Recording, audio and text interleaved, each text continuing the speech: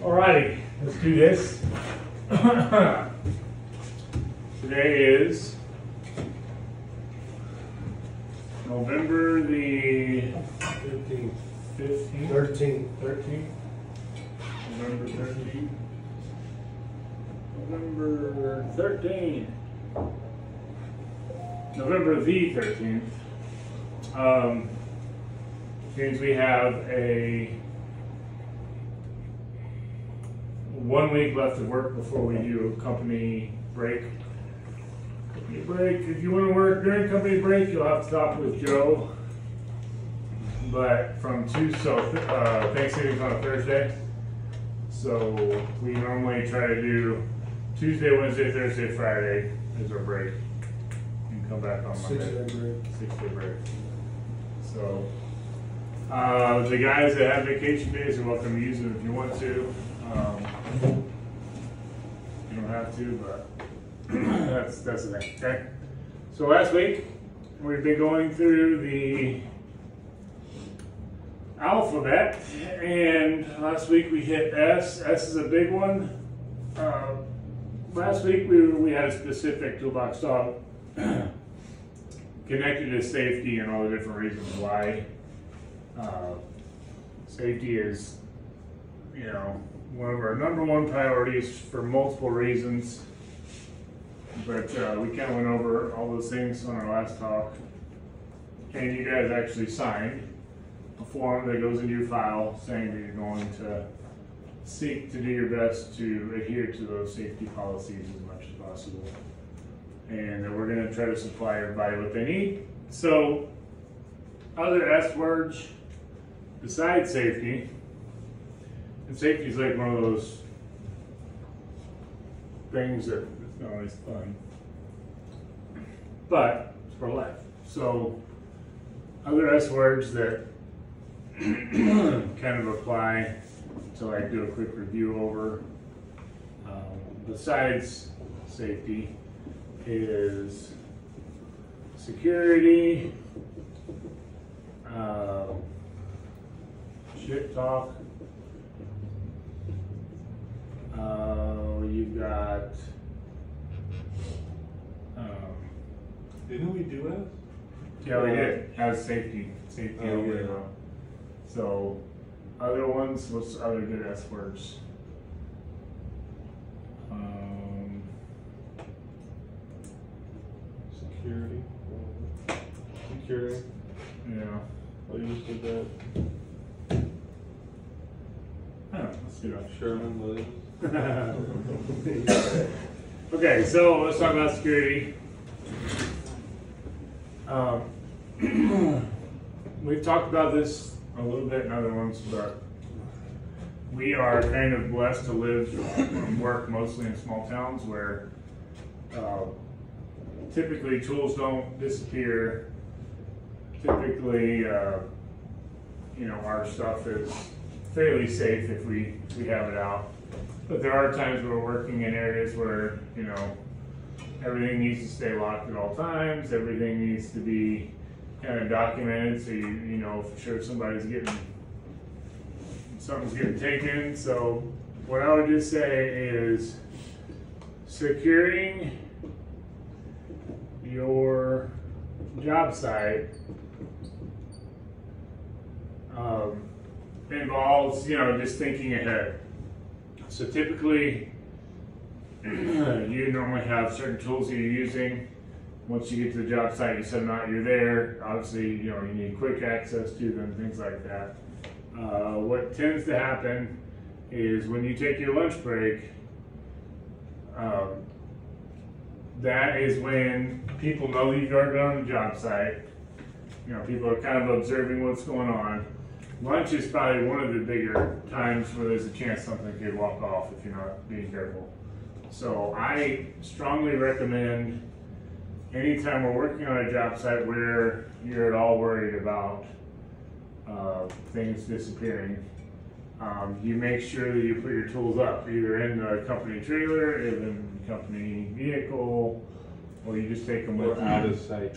Um, yeah, the other thing that you would do is, uh, and this should happen anyway, you clean clean the job site at lunch to where say if a customer came up on the job site, things look organized and put away. You know, if you're not there, uh, leaving your tools just laying out, it's not as professional anyway, unless it's like a big chop saw or something like that. But the goal is always going to be to from from the from the view or from where customers or passerbyers or thieves for that matter are seeing your job site, it looks like it's organized and taken care of. And that's going to kind of prohibit uh, people from taking advantage of us. Um, at the end of the day, you know, we're tired, we're worn out, the uh, ready to get home. The instinct is to it'll be fine on certain things, but uh, knowing that every single day we're cleaning our cleaning up our trash and protecting our investments from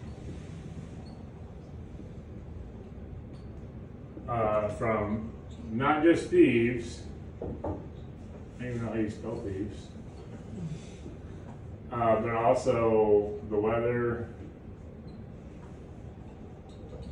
you know, and other stuff like that. So just make sure when we're on job sites, we're securing their stuff, making sure that it's taken care of. Um, there are things that you can do now, like you have a special tool, you can get those air tags.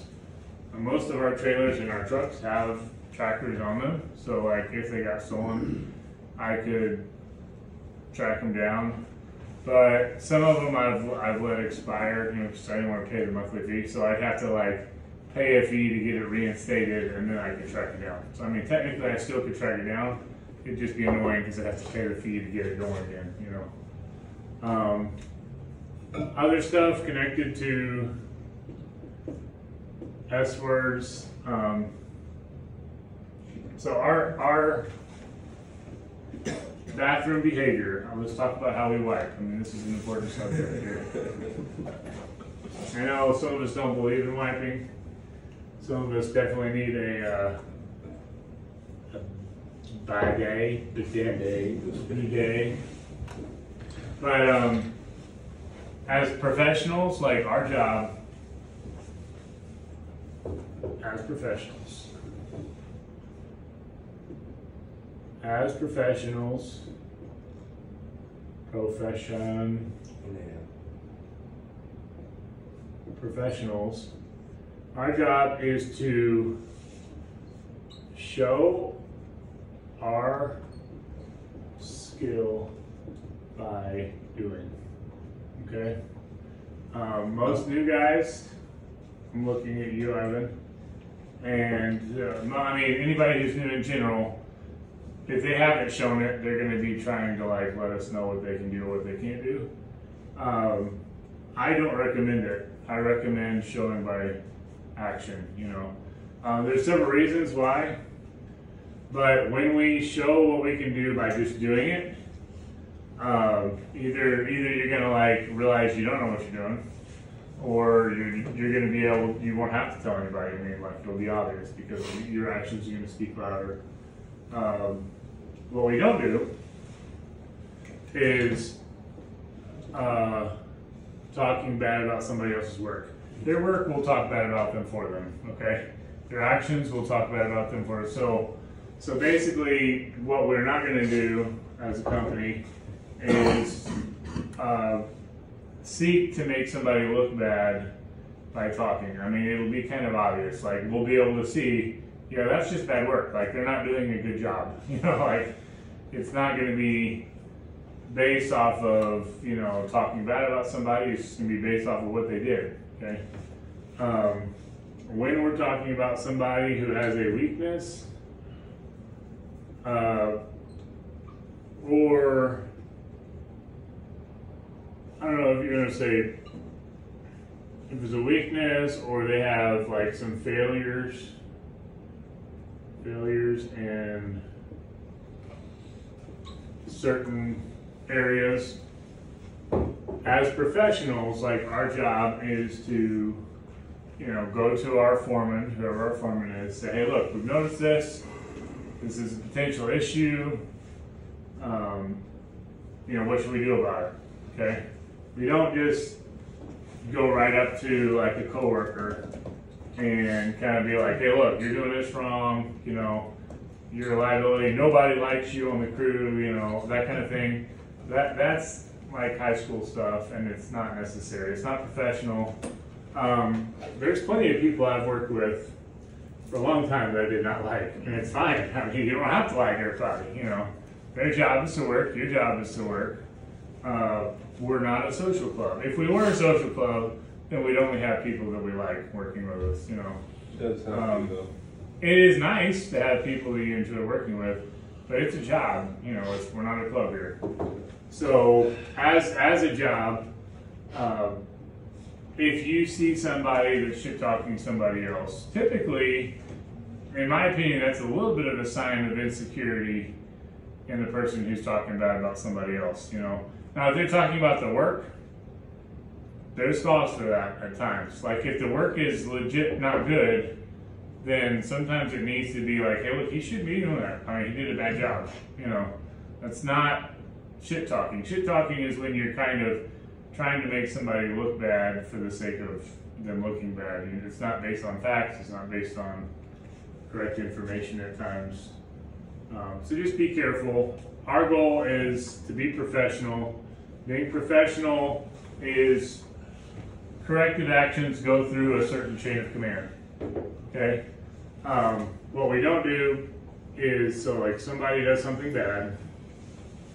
So there's bad here, and then we then seek to avoid it. We don't want to work with this guy for this reason. So this guy does something bad. So let's see, guy one does something bad. So guys two and three just don't want to work with this guy. And I mean, it can go like, oh, come on. Like, and then you not tell him to his face, obviously, because that's going to be like weird.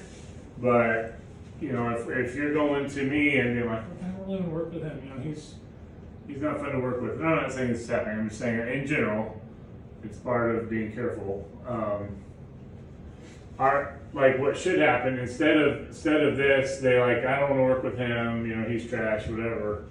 Then it should be, hey, we've noticed these three things. You know, like this guy isn't communicating. He's on his phone all the time. He gets to work late, leaves early. You know, like there's these four things are concerned to us as far as being efficient. You know, and then that gives me a legitimate reason to like look into the matter, kind of see what's going on, and take corrective action as needed. But it's not going to be based off of a vibe. Because I mean, some people are just annoyed. I mean, Ben, half everybody's either scared of Ben or annoyed by him. And it's been that way his whole life. You know, like we're just used to it. But like everybody knows he's a good worker, so there's not a legitimate reason other than some people don't vibe with him as easy for me to like do anything about it. you know what I'm saying? So just be careful when when you're dealing with somebody who uh, so the other op, you know, the other like when you're shooting the shit or whatever, when you're having a good time and like the social club side of things, be careful that that doesn't bleed into the other side to where you're kind of talking bad about somebody without a legit reason, um, and being aware of that. Same with customers. Our job is to try to be as professional as we can be. Um, my motto in general is if I wouldn't say it to their face, I'm not going to say it, you know, because I feel like it's so important to not have a double standard. Um, and I want to be able to be honest and be truthful as, as much as possible when it comes to talking to other people. So, review, make sure our stuff is secure daily. Uh, lunchtime is a dangerous time. At the end of the day is an important time to make sure our stuff's put away. Uh, our goal is to be professional. Snacks. What? It says snacks since we're going over S. Snacks. Oh, actually, it's actually I'm not bad. Okay, snacks. The job is to be professional. Part of being professional is nutrition. I mean, it's part of like eating correctly. I'm fairly grumpy if I haven't eaten in a long time, and it can affect my perception of other people's inadequacies, to say that mildly.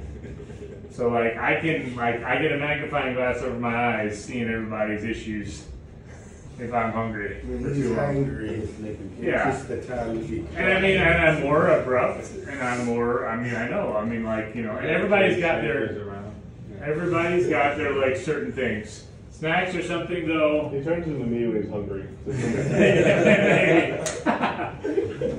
okay, so may, maybe uh, as far as snacks goes, um, on two different levels. We talked about it on our budget one. Uh, I talked about this the other day with Ivan. You know, if you're buying five dollars for breakfast at a gas station, you know, twelve bucks at lunch, four dollars in the afternoon with an energy drink, you're twenty-five bucks a day, whatever it is, you know, that adds up pretty quick. So you better be making some good money, you know. Um, but like, what I typically try to do is mid-morning, mid-morning, or depending on when I have my breakfast, I'm getting some sort of protein, you know, some sort of something to kind of like keep me through till lunch, and then mid afternoon I'm normally doing something. Uh, if you have smoke breaks when you're doing your thing, I mean, it's not a bad idea to, like, especially if you know you have a hard day coming up, to like prepare a little bit more. Um, I would, does anybody have snacks stuff to talk about? No, just randomly put the word out there. Get your own. You were talking Yeah. about lunch for some reason, Yeah. so I just said snacks. You're Making me hungry. Okay, anyway, that's pretty much it. I know it's kind of boring, but trying to finish up the alphabet here. And then as soon as the alphabet's finished, we're gonna go into